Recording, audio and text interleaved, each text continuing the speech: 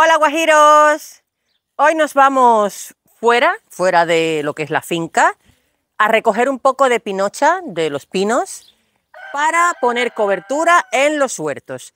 Vamos a hablar hoy de la importancia de la cobertura en los huertos. Bueno, vamos a prepararnos. Coge tu... Coge tu carretilla. Mira, tú echas cobertura ahí también, ¿vale? Vamos a llevarnos el rastrillo.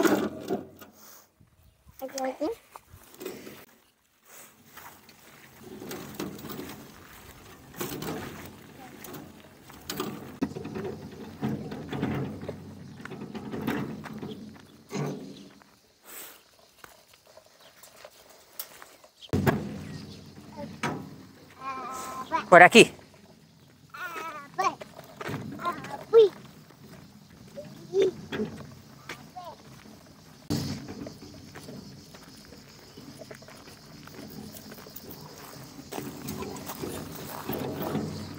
Ahí está aquel. Parece que cazando un conejo, no sé.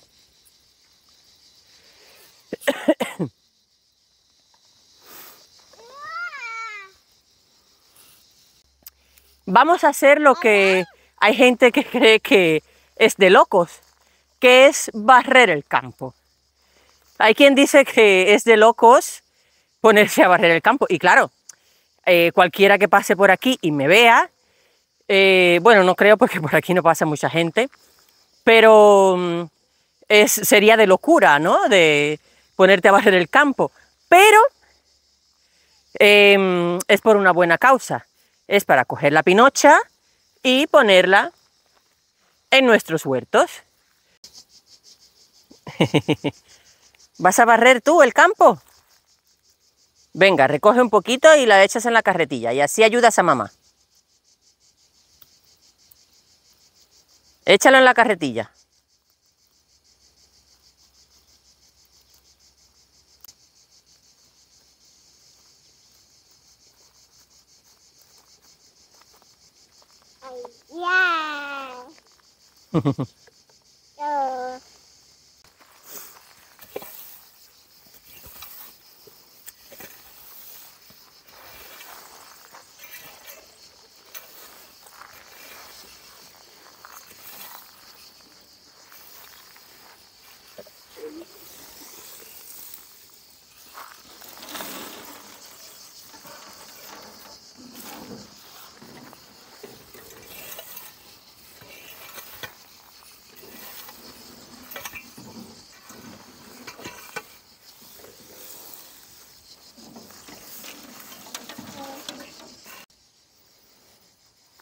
Bueno, pues vamos a llevar esta primera carretilla. ¿Te echo en la tuya? Venga, vamos a echar aquí. Lleva ahí un poquillo. Vamos, venga.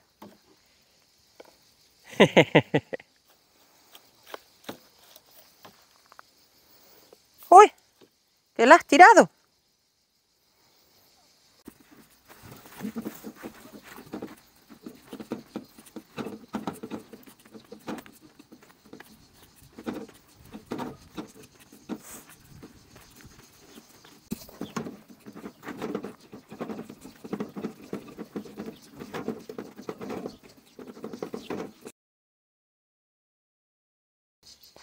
Si ya has llegado hasta aquí, espérate, termina de ver el vídeo porque tengo una pequeñita sorpresa. Bueno, es que acabo de entrar y estábamos esperando una cosa que saliera hoy y sí. Para ti también, Noah. Es una sorpresa. Así que quédate, quédate hasta el final. He tenido que parar un poco. Venga. Porque, venga, primero la merienda.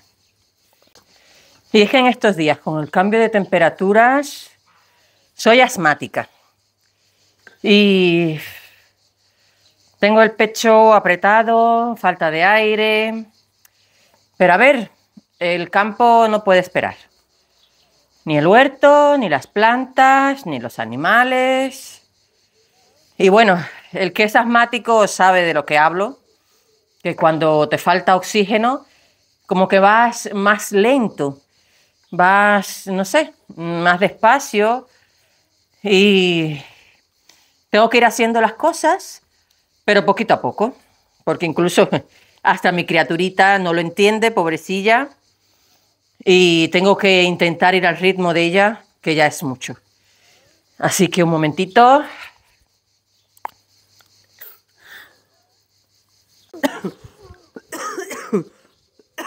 Uh.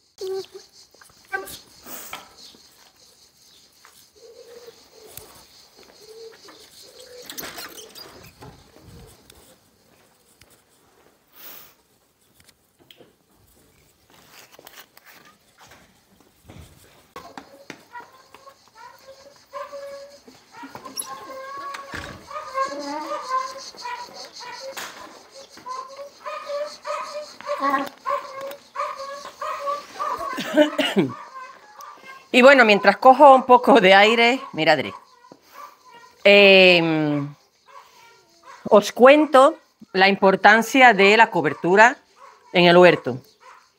Lo primero, em, sobre todo para este tiempo, mantiene la humedad.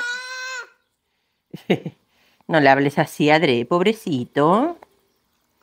Y le Dre con cariño, así. Así, un abracito.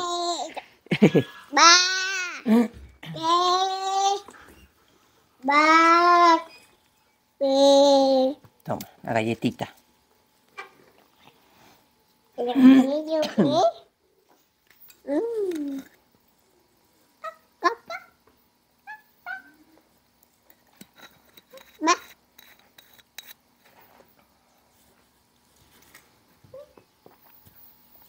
Ah. Bueno, pues eso. Em, la cobertura, bueno, hay quien le dice acolchado también. Se le puede decir o cobertura o acolchado. O bueno, ya me diréis cómo em, le decís en vuestro sitio, no sé. Yo la conozco, yo le digo cobertura y la conozco también como acolchado. Em, la importancia que tiene es esto, que mantiene la humedad. Cuando riegas, eh, no se evapora lo que es el agua, ahora sobre todo con este, en este tiempo de calor, em, hace que la tierra no mm, haga esta em, como corteza, como capa que hace la tierra que se pone dura. Y claro, eso para las plantas, imaginaros que mm, la raíz em, necesita que la tierra esté suelta para poder extenderse, para poder ampliarse, para poder absorber el agua que, mm, del riego. Entonces, si la tierra está dura, pues em, no hace que facilite que la raíz se extienda. Entonces la planta como que se queda muy pequeñita, em, no se desarrolla como debe ser. la cobertura, por supuesto, tiene que ser una biomasa, es decir, yo en este caso, porque estoy rodeada de, pinares, lo que le echo es pinocha. Pero em, podéis echar, echar como cobertura paja. Em, también se le puede echar la corteza de los árboles. Que em, esto en definitiva eh, se va mm, desintegrando y forma parte también de ese alimento que necesita el suelo para ir nutriéndose mm, año tras año, porque esto, al irse eh, degradando, al irse descomponiendo, hay que ir echando mm, eh, cada X tiempo. Al final eso lo vas viendo. Y, por ejemplo, ahora os voy a mostrar... Ay, perdona. Ahora os voy a mostrar un vídeo de mm, la, la rocalla que estuve echándole cobertura y bueno, se veía la cobertura anterior, mm, pues un color opaco, así, bueno, como que se estaba desintegrando, que se estaba deshaciendo. Y bueno, eh, estuve echándole de esta pinocha. Ya veréis, es que incluso hasta vale como decoración, porque dejas el huerto así, la tierra normal, y bueno, sí, se puede ver bien, Pero si le echas mm, esta cobertura, hasta se ve, yo por lo menos yo lo veo bien, me gusta ver eh, la tonalidad que, que, coge y ya veréis, ahora os muestro el vídeo de, de cuando estuve echando en la rocalla.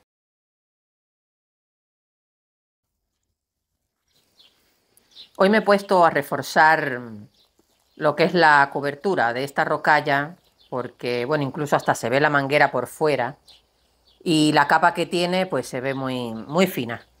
Así que mm, hay que aprovechar que en estos días ha estado lloviendo para que con una capa de cobertura un poco más gruesa se mantenga la humedad, porque vienen días de calor y ya mm, hay que proteger la tierra para que venga eh, el buen tiempo, bueno, el tiempo este de calor y, las plantas no lo sufran tanto.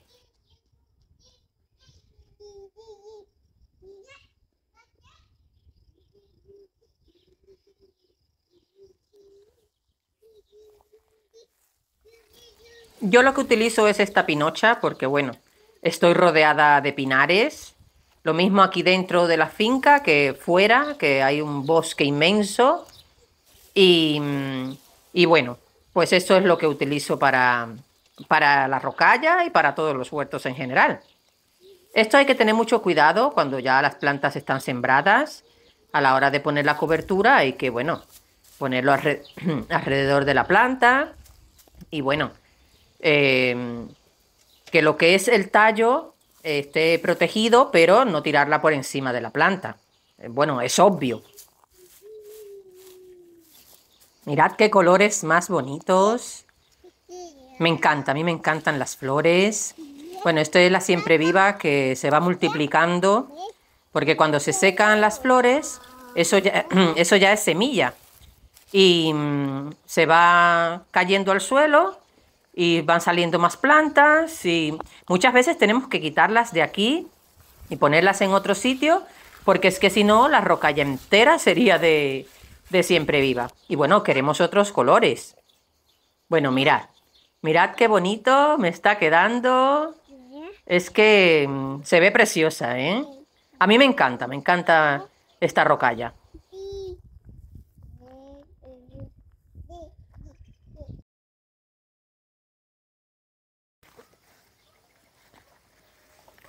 Bueno, ese vídeo lo hice hace una semana más o menos. Y como veis, em, bueno, que la niña se ve con manga larga, es que hacía todavía un poco de, mm, no frío de congelarse, de tener abrigos, pero sí de manga larga. Entonces, claro, por eso lo de mi, lo de mi asma. Yo, de hecho, bueno, soy cubana y, y en Cuba es que casi siempre tenía crisis de asma. El calor y la humedad, fatal para mí. Aquí, en el tiempo de frío, bueno, me puede dar eh, un catarro, una gripe, eh, pero crisis de asma no me dan muchas. Solo en este tiempo, que es el cambio de temperatura, que un día te levantas hace fresco, otro día hace un poco de... Hoy hace calor. Entonces, mm, bueno, hoy estoy un poco así, pero nada, nada que, que no, sea, no, puede, no es tan grave, así que ya está. Bueno, em, os voy a mostrar lo que os decía. Esa cobertura que estuve recogiendo, bueno, tengo aquí la carretilla, es para echar en este huerto. Que bueno, lo he dejado así a propósito para, para enseñároslo. Si veis, em, ya la cobertura que tenía pues se ha deshecho y ya no tiene casi... Entonces la tierra se ve como muy seca. Por ejemplo, por aquí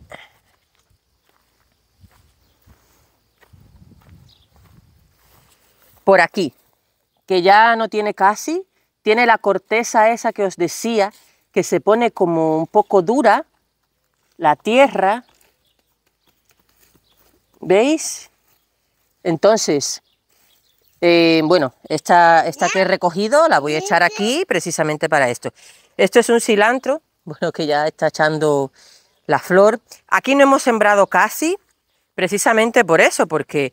Y luego es que no tiene casi pinos encima. Bueno, tiene este, pero no echa mm, mucho. Por ejemplo, este que tenemos aquí, prácticamente no hay ni que echarle. Bueno, este no lo hemos sembrado todavía, pero tiene los árboles encima y bueno, va cayendo y de hecho este por ejemplo es el pasillo y tiene la misma cobertura, que bueno, queda igual.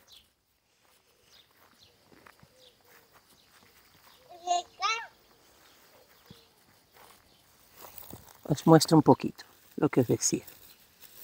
¿Veis? Aquí voy apartando y este huerto no lo hemos regado, porque bueno, como no tiene nada sembrado, sin embargo, mirad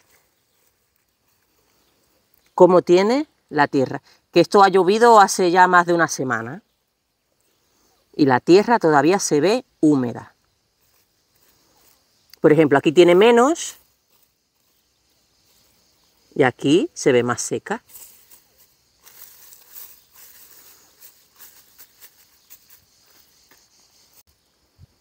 Esta es la rocalla, la que estuve echando de la cobertura. Y mirad, por ejemplo, por aquí, aquí se puede ver la diferencia. Esta es la cobertura nueva y esta es la que tenía antigua, que está como más deshecha.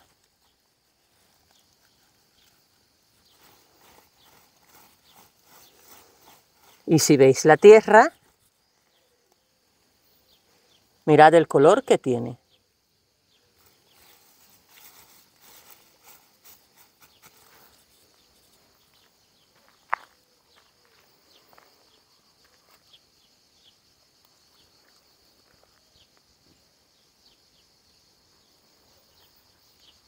Bueno, y como eso, bueno, es que tenemos en todos los huertos.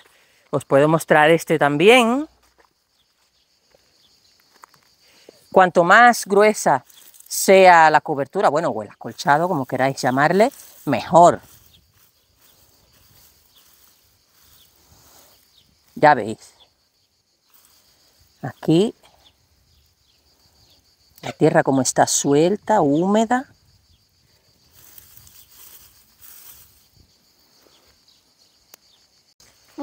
Me prestas el guante y así cojo esto, es que em, esta pinocha pincha un poco. Y vamos a echarle la cobertura al huerto. De hecho ahí, en la carretilla.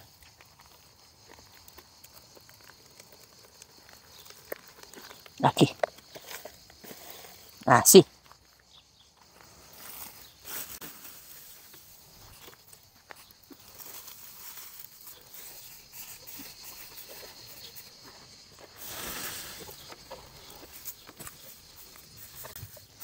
Ah, bueno, que se me había olvidado deciroslo.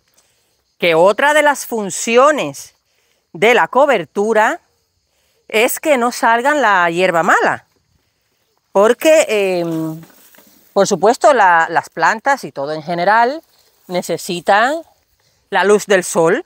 Y si, lo, si tapamos la tierra con la cobertura, esto también hace que no salgan las malas hierbas. Por ejemplo, aquí os muestro otra función también que tiene, y es que nosotros tenemos aquí el, riego, como veis, tenemos la manguera con la boca de riego, y aquí está por fuera. Pues echamos la cobertura, por ejemplo, aquí ya he empezado a echar. Echamos la cobertura por encima de la manguera y esto también protege la manguera del riego que cuando le dé el sol no se deteriore.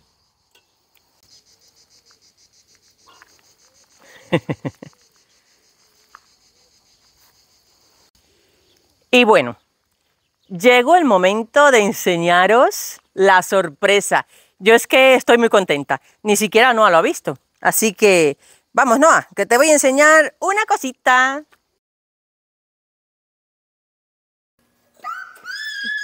Uy, uy, que no la había visto mi niña. Un pipí. Es que habíamos puesto esta incubadora y justo hoy hacen los 21 días. Y he venido a ver. ¡Uy! ¡Uy! ¡Qué sorpresa! No lo vamos a coger todavía porque está muy chiquitito y te conozco. ¡Ay, qué alegría!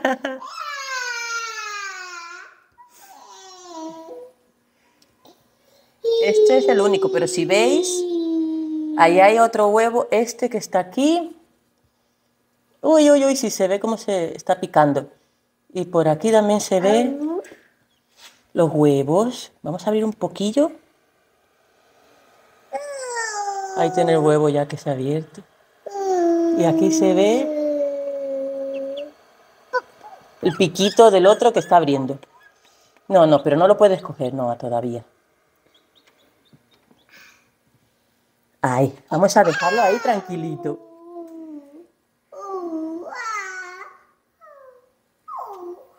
¿Te ha gustado la sorpresa?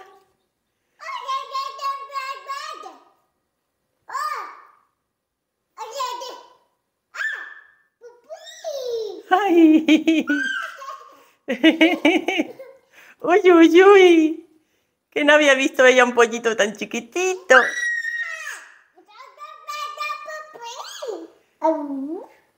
¿Los huevos? Que los pipis salen de los huevos.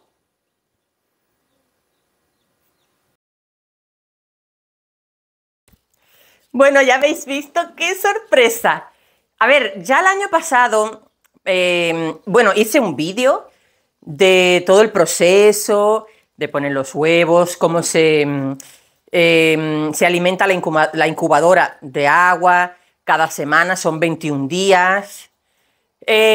Lo que pasa es que cuando compramos la incubadora, eh, ya estaba empezando el tiempo de frío. Y es que uno va aprendiendo, eh, dando tropezones y bueno, con los errores. El mayor, eh, ¿cómo decirlo? El mayor peligro para los pollitos chiquititos es que...